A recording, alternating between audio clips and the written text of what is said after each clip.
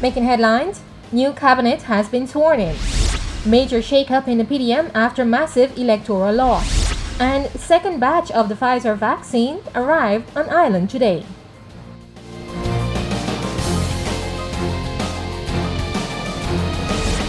Hey there, Turks and Caicos. I am Delana Isles with the Wednesday, February 24th edition of Newswatch. The news starts now. All seven members of the PNP administrations who hold ministerial posts are now sworn in and are already working in service to the people of the Turks and Caicos Islands. Those sworn in as cabinet members are Premier Charles Washington Misick, Deputy Premier Erwin J. Saunders, Minister Akierra Missick, Minister Josephine Connolly, Minister Otis Morris, Minister Arlington Musgrove, and Minister Rachel Taylor. Returning to Cabinet are Deputy Governor Anya Williams and Attorney General Rhondalee Braithwaite Knowles. As Premier, I give you my word that we will work hard to deliver on every promise we made in our contract with the people. That task will not be easy. COVID 19 has taken a severe toll on our people and has ravaged our economy and we can see the evidence everywhere. Increase in poverty, unemployment, a worsening standard of living, and we must therefore tackle COVID-19 together. The government will provide health care, including vaccines and support in the form of stimulus and care packages to those in need. But to all residents, you must be part of the solution. So, I would repeat some of the standard prescriptions that you must observe the protocols. Always social distance. Wear your mask. Wash your hands and sanitize and embrace the opportunity to get vaccinated. The governor has just said that there's another 23,400 doses of vaccine arriving today. That will be received by His Excellency and our new Health Minister, E.J. Saunders. The Premier is urging all islanders to show up for the next batch of the vaccine, which arrived today. He also revealed some startling statistics as it relates to the real COVID 19 situation in the country. I think it's because we have pledged to be transparent, I think it's, without scaring you, I think it's important that I let you know that the, the hospital, uh, as late as last week, and I don't know what the stats are today. I noticed there were two few initial, two other admissions yesterday. But we were told that at one point last week and for maybe for several days, uh, the hospital was running at 150% capacity. Um, and a, a, a, a, field hospital is on its way for delivery here.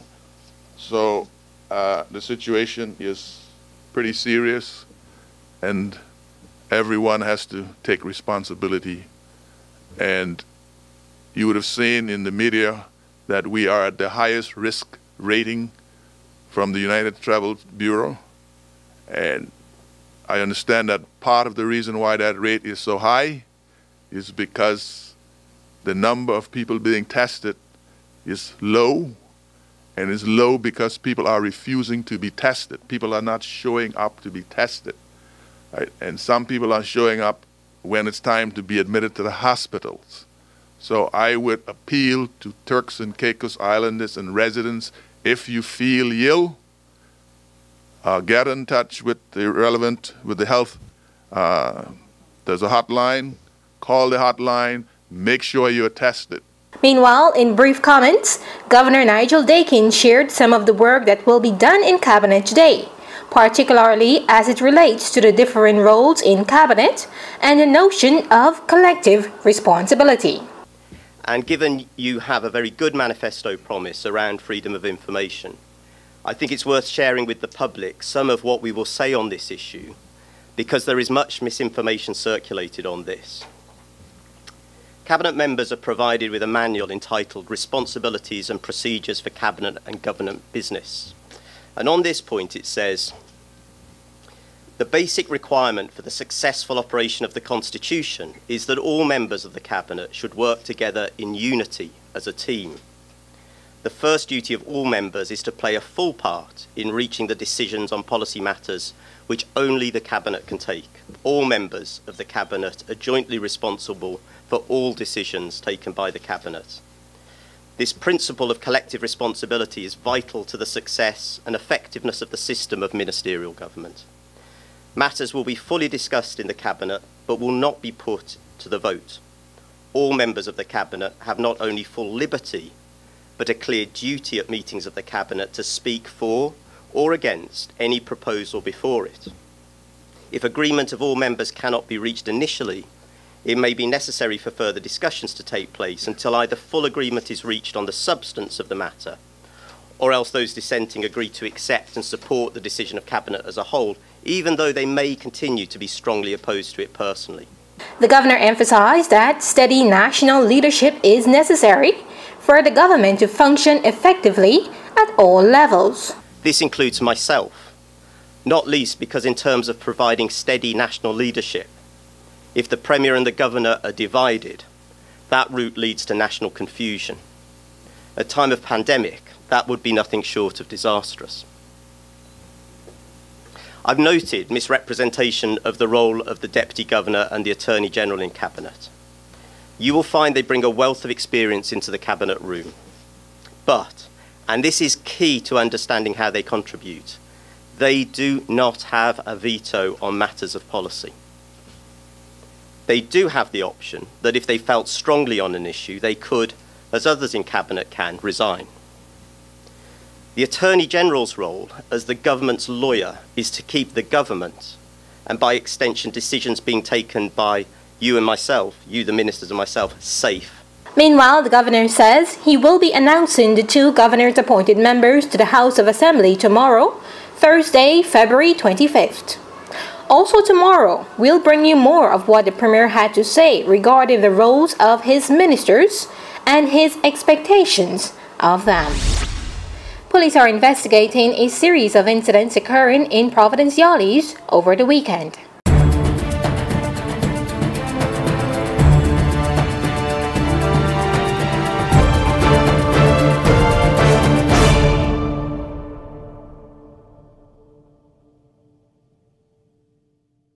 Officers of the Serious Crime Unit of the Royal Turks and Caicos Islands Police Force are investigating a shooting incident that left a male injured.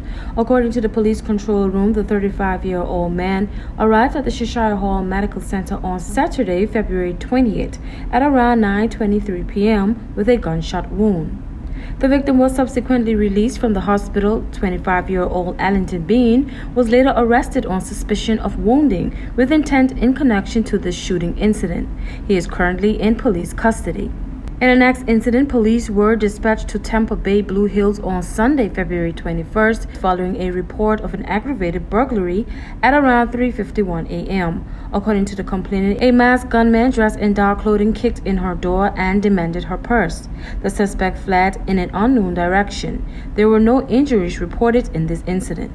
Police spoke to a complainant at an apartment complex along Bay Road, Blue Hills, who said at around 5 a.m. a gunman wearing dark clothing and a mask kicked in his door and tried to rob him. According to information from the police control room, there was a scuffle between the gunman and the apartment's occupants. Still, the suspect managed to escape on foot in an unknown direction. The incident took place on Sunday, February 21st. There were no injuries reported. Anyone with information should contact the police on 911 or anonymously call Crime Stoppers at 1 800 8477 TIPS. A quick commercial break now, but do stay with us. More news when we come back. This is a reminder that all PTV service accounts are due on the first day of each month. Accounts should be brought up to date by the 28th of the month to avoid disruption in service. Payments may be made on our office at Stubbs Diamond Plaza, Providenciales, Mides Plaza, North Caicos, and Airport Road in South Caicos. Payments may also be made online using Scotiabank, CIBC First Caribbean Bank, and Royal Bank of Canada. Please allow three business days for online payments to be processed. We thank you for your cooperation.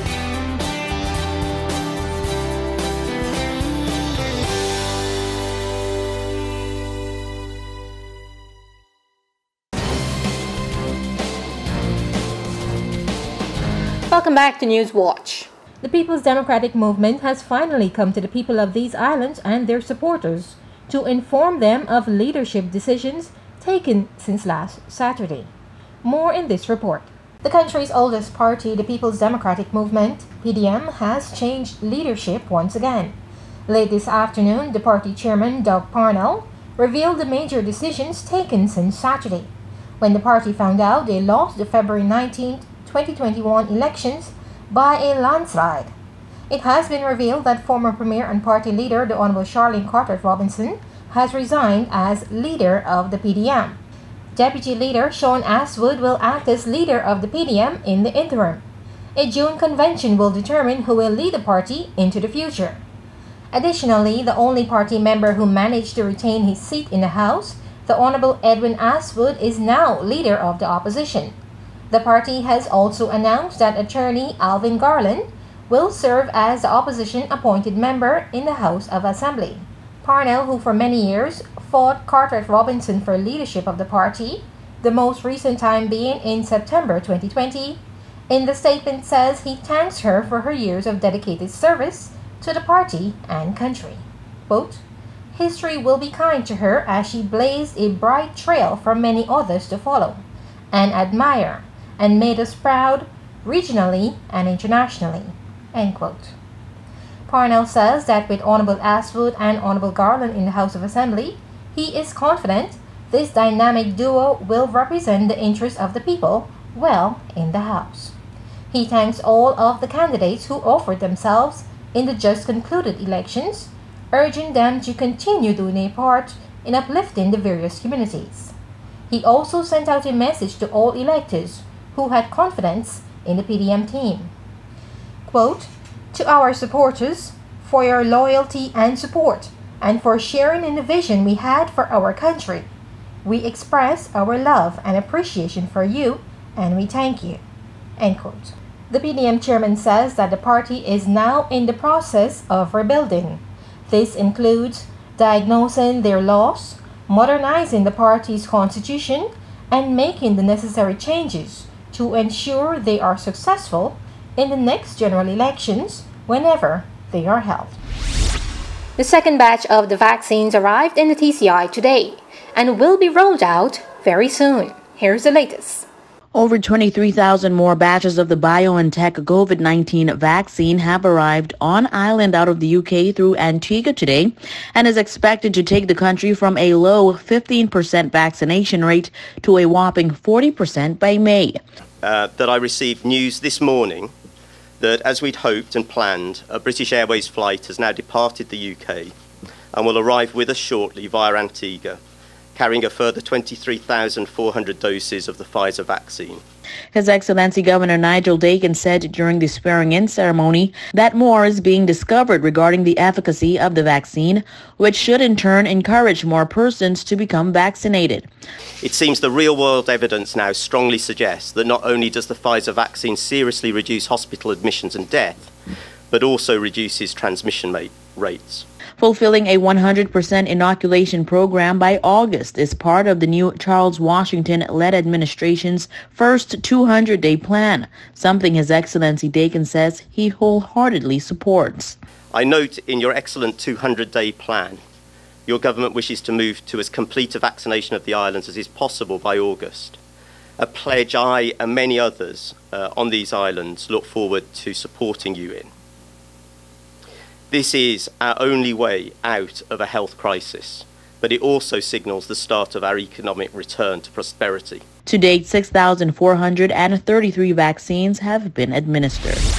A break now, but the weather is up when we come back. In order to auto scan your PTV set top box, you need to follow these basic steps. Turn on your television and set top box. press menu on the remote control. Choose installation and press OK. Enter password, press 0000. Choose auto search and press OK. Go down to start search and press OK. Choose yes and press OK. The box will start searching for channels until process bar reach 100%. Click on exit and data will be saved.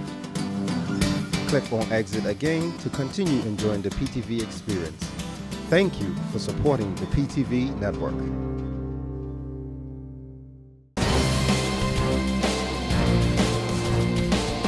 Cloudy skies across the islands tomorrow for Thursday, February 25th. On Grand Turk, a few clouds from time to time. High 78, low 74. Winds northeast at 15 to 25 miles per hour. South Caicos, mostly cloudy skies. High 78, low 73. Winds northeast at 15 to 25 miles per hour. Northern Middle Caicos, partly cloudy skies. High 77, low 72. Winds northeast at 15 to 25 miles per hour. A look at Parrot and Pine Cay now, partly cloudy skies yet again. High 78, low 72, winds northeast at 15 to 25 miles per hour. And on Providenciales, partly cloudy skies. High 78, low 72, winds northeast at 15 to 25 miles per hour. A look now at your sunrise and sunset. Sunrise 6:14 a.m sunset 5:52 p.m. For your high tide and low tide, high tide 5:59 a.m., 6:21 p.m. Low tide 12:20 a.m., 12:20 p.m. And that's all for your weather forecast. We'll be right back with more on Newswatch. This is a reminder that all PTV service accounts are due on the first day of each month. Accounts should be brought up to date by the 28th of the month to avoid disruption in service. Payments may be made on our office at Stubbs Diamond Plaza, Providenciales, Mides Plaza, North Caicos, and Airport Road in South Caicos. Payments may also be made online using Scotiabank, CIBC First Caribbean Bank, and Royal Bank of Canada. Please allow three business days for online payments to be processed. We thank you for your cooperation.